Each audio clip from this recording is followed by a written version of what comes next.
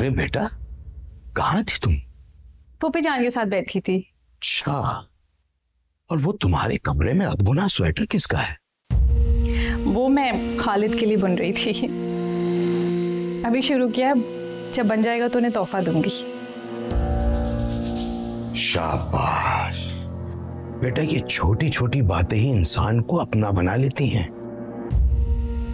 जी इसीलिए तो कर रही हूँ मेहनत।